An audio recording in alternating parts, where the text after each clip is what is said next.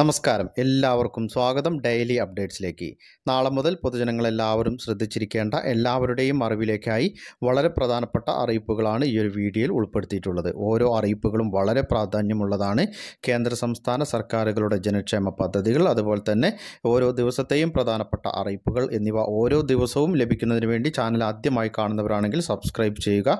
ഫേസ്ബുക്കിലൂടെയാണ് നിങ്ങൾ ഈ ഒരു വീഡിയോ കാണുന്നതെങ്കിൽ പേജ് ഫോളോ ചെയ്യുവാനും മറക്കരുത്. അപ്പോൾ നമുക്ക് പ്രധാന അറിയിപ്പുകൾ എന്തൊക്കെയാണെന്ന് നോക്കാം.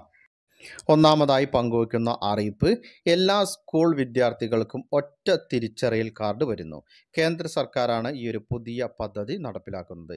എല്ലാ സർക്കാർ സ്വകാര്യ സ്കൂളുകൾക്കും ഇത് ബാധകമായിരിക്കും. ദേശീയ വിദ്യാഭ്യാസ നയത്തിന്റെ ഭാഗമായി ഒരു രാജ്യം ഒരു വിദ്യാർത്ഥി ഐ എന്ന പദ്ധതിയാണ് നടപ്പിലാക്കുന്നത്. Automated permanent academic account registry എന്നാണ് പദ്ധതിയെ വിളിക്കുക. പ്രീ പ്രൈമറി ക്ലാസ് മുതൽ ഹയർ സെക്കൻഡറി ക്ലാസ് വരെ വിദ്യാർത്ഥികൾക്ക് ഒറ്റ തിരിച്ചറിയൽ കാർഡായിരിക്കും നൽകുക. എജ്യു ലോക്കർ എന്ന രീതിയിൽ കണക്കാക്കുന്ന അപാർ ഐ ഡി വിദ്യാർത്ഥികൾക്ക് ജീവിതകാലം മുഴുവനുമുള്ള തിരിച്ചറിയൽ കാർഡായിരിക്കും.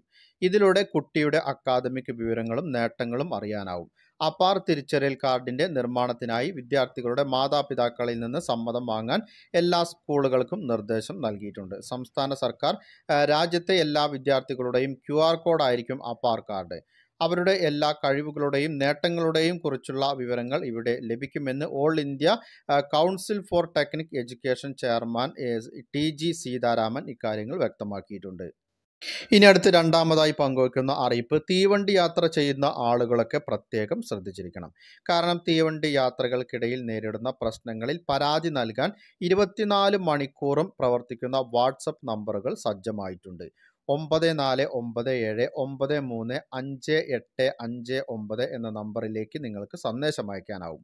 ഫോട്ടോ അതുപോലെ തന്നെ വീഡിയോ ടെക്സ്റ്റ് എന്നിവ ഉപയോഗിച്ച് പരാതി നൽകാം. കൂടാതെ തൊണ്ണൂറ്റിയെട്ട് നാൽപ്പത്തി ആറ് രണ്ട് പൂജ്യം പൂജ്യം ഒന്ന് എട്ട് പൂജ്യം എന്ന നമ്പറിലോ ഇനി അതുമല്ലെങ്കിൽ തൊണ്ണൂറ്റിയെട്ട് നാൽപ്പത്തി ആറ് രണ്ട് പൂജ്യം പൂജ്യം ഒന്ന് അഞ്ച് പൂജ്യം എന്ന നമ്പറിലോ തൊണ്ണൂറ്റിയെട്ട് നാൽപ്പത്തി ആറ് ഇരുന്നൂറ് നൂറ് എന്നീ കൺട്രോൾ റൂം നമ്പറുകളിലൊക്കെ നിങ്ങൾക്ക് വിളിച്ച് പരാതി അറിയിക്കുവാൻ സാധിക്കും.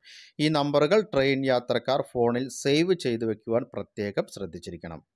ഇനി അടുത്തതായി പങ്കുവയ്ക്കുന്ന അറിയിപ്പ് സീറ്റിൽ ഇരുന്ന് ഏതെങ്കിലും വിദ്യാർത്ഥികൾ യാത്ര ചെയ്താൽ അവരെ എഴുന്നേൽപ്പിക്കാൻ ശ്രമിച്ചാൽ തീർച്ചയായും ഇനി മുതൽ പണി കിട്ടും. കാരണം സീറ്റിൽ ഇരുന്ന് യാത്ര ചെയ്ത വിദ്യാർത്ഥിനികളെ നിർബന്ധപൂർവം എഴുന്നേൽപ്പിച്ച സ്വകാര്യ ബസ് കണ്ടക്ടർക്ക് പോലീസിന്റെ താക്കീത്. തൊടുപുഴയിൽ നിന്ന് പുറപ്പെട്ട ബസ്സിൽ ഇരുന്ന് യാത്ര ചെയ്ത വിദ്യാർത്ഥിനികളെയാണ് കണ്ടക്ടർ എഴുന്നേൽപ്പിച്ചതായിട്ടുള്ള വാർത്തകൾ പുറത്തു വന്നത്. സ്വകാര്യ ബസ്സുകളിൽ യാത്ര ചെയ്യുന്ന വിദ്യാർത്ഥികളോട് മോശമായി പെരുമാറരുത് എന്ന ബാലാവകാശ കമ്മീഷന്റെ ഉത്തരവ് നിലവിലുണ്ട്. ഇക്കാര്യം ചൂണ്ടിക്കാട്ടി ഒരു സ്വദേശി സുനിൽ കുമാർ മുട്ടം പോലീസിൽ നൽകിയ പരാതിയെ തുടർന്നാണ് പോലീസ് ഈ ഒരു നടപടി വന്നിരിക്കുന്നത്.